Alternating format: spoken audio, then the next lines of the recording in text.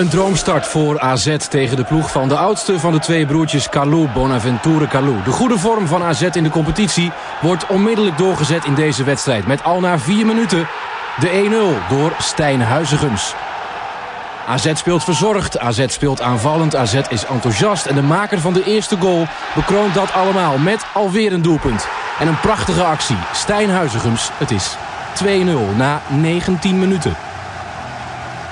En het wordt een Alkmaars voetbalfeestje... waarbij het na 25 minuten al gebeurd zou kunnen zijn. Danny Landsaat, maar hij mikt hem op de paal. Het is 2-0 bij rust en in de tweede helft controleert AZ en is Ozer onmachtig. De grootste kans komt van Barry van Galen, maar het blijft bij 2 tegen 0. De nummer 3 van Nederland verslaat de nummer 3 van Frankrijk. AZ wint.